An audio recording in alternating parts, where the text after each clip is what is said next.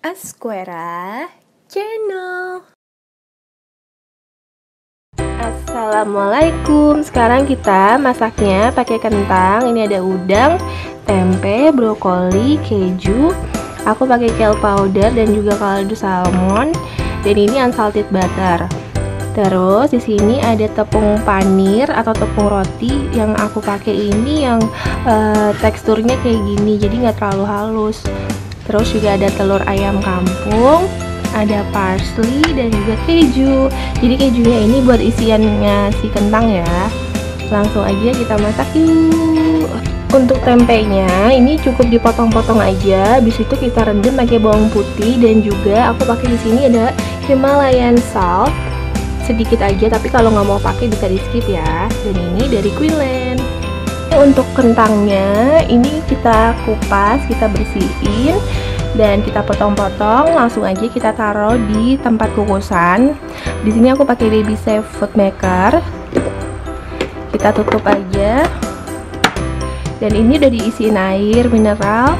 Sekarang kita kukus kurang lebih. Aku mau coba untuk yang pertama sekitar 20 menit. Kita tinggal tunggu matang. Nah ini udah matang udah lembut sekarang kita bisa masukin bahan yang lain. Di sini aku ada parsley kering. Kita masukin secukupnya aja. Sini ada kale powder dan kaldu salmon. Kita masukin di sini ada unsalted butter. Dan ini aku pakai oregano sedikit aja dari Queenland kalau udah langsung aja kita tutup dan kita blender sampai dia halus. Aku mau ngasih tahu di sini airnya udah dibuang, air kukusannya. Sekarang kita langsung aja blender sampai dia halus. Nah, ini uh, aku tinggal alusin aja. Pakai garpu juga bisa atau pakai ulekan boleh. Pokoknya sampai dia hancur. Kalau udah, sekarang aku mau bentuk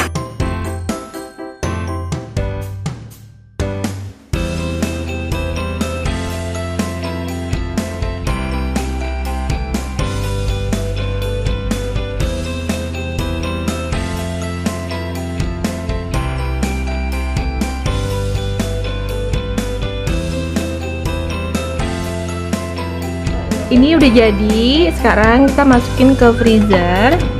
Kita buka. Dan langsung lagi kita masukin. Kita diemin pokoknya sampai dia beku nanti kita goreng dadakan.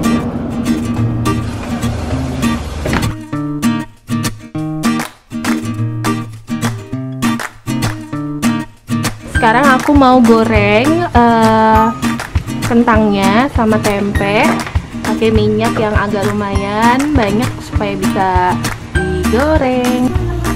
Nah lagi kita goreng kentangnya sampai dia matang ya.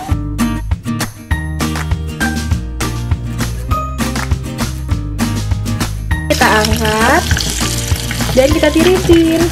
Dan ini udah jadi. Sekarang kita langsung aja nggak usah lama-lama selamat makan jadi ini makan sendiri. Kayak ya bisa dibilang BLW gitu. Jadi ada tempe goreng ada udang brokoli dan juga tadi kroket uh, kentang. Dalamnya ada kejunya nih. Mantap. Oh disuapin. Udah. Lucu banget sih. Mati ya. Makan dulu ya ini bentuknya kan mungkin selalu agak uh, bisa dikecilin lagi gitu ya. Jadi mungkin bentuknya bulat kecil-kecil kayak kelereng gitu juga bisa.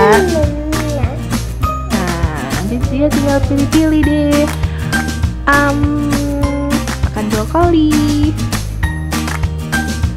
Kegedean gak itu? Ya itu kisaran dua nyom nyam enak ya